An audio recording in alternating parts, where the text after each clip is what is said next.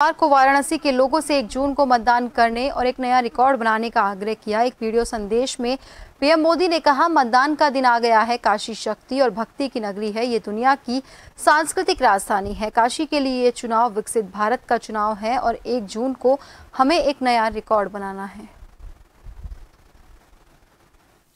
काशी के लिए एक बार का चुनाव नव काशी के साथ विकसित भारत के निर्माण का चुनाव हो। काशी के लोगन के, एक जून के, एक जून के दिन नया रिकॉर्ड बनावे के हो।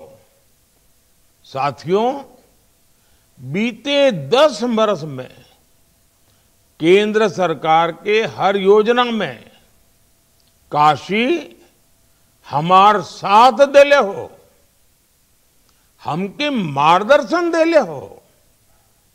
बाबा विश्वनाथ का भव्य धाम, काशी रिंग रोड का प्रोजेक्ट, बनारस के रेलवे स्टेशन का विकास, गंगा घाट के विकास से रोपवे प्रोजेक्ट तक, हर योजना, काशी ही नहीं पूरे पूर्वांचल के नए विकास से जोड़ले हो।